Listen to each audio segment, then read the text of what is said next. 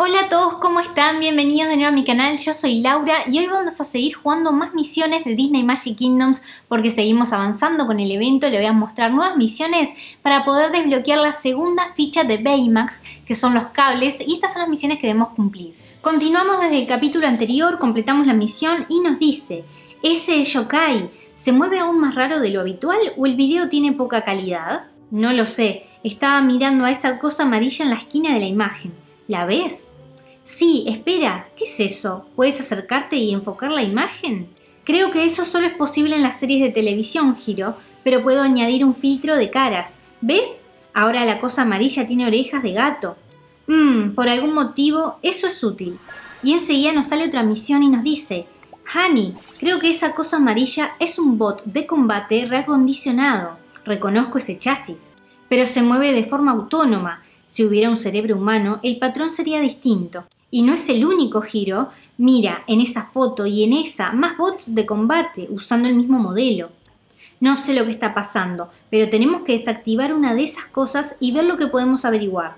Lucha contra ese bot, derrota a un bot de combate.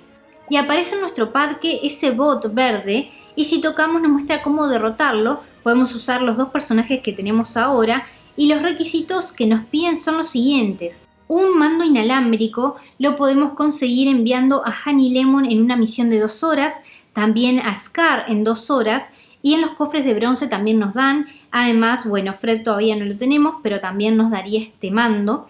Y también nos pide un visor de juego que lo conseguimos en una misión de giro de dos horas. Gogo para los que tengan este personaje en dos horas. Y también en los cofres de bronce aparece y más adelante Wasabi también nos va a dar este, esta ficha. Entonces para derrotarlo precisamos una ficha del mando inalámbrico y una del visor de juego y ahí enviamos a Hiro o a Honey Lemon y en 3 minutos van a derrotarlo y nos da una ficha del cable que es la segunda ficha que desbloqueamos para conseguir a Baymax. Ahí pueden ver cuando conseguimos las fichas y enviamos a Hiro que en 3 minutos va a derrotar a este bot. Cuando conseguimos derrotarlo nos dice, tío, hay terabytes de datos en este robot, pero el 90% está corrupto. Oh no, quizá tendría que haber cargado mi bolso con algo menos cáustico. No has sido tú, Honey. Creo que esta cosa tiene un sistema de autodestrucción. En cuanto se apaga, su disco duro se estropea. Pero si hay algo de información en buen estado en este bot, entonces cuanto más bots desactivemos, más datos encontraremos. ¡Wow! Tienes razón. Parece que hoy tenemos combate de bots. Y enseguida nos sale una nueva misión y nos dice, vamos a necesitar ayuda para acabar con esos bots de combate, y no solo para analizar sus discos duros. Las cosas están muy mal, vamos a necesitar todas las piezas que consigamos. Es como reciclar, pero mmm, más violento. Consigue cables de los bots de combate, 0 de 19. Y enseguida Giro nos dice, no tenemos tanta información de esos bots como me gustaría, pero no podemos esperar más tiempo. He enviado los datos que hemos obtenido al visor de mi casco. Tengo que buscar patrones, en unos cuantos cientos de miles de valores numéricos sin procesar. Genial. Tendría que haberme bebido un té antes. Hay una probabilidad no nula de que entre en coma por aburrimiento. Envía a Giro a revisar los datos de combate con bots.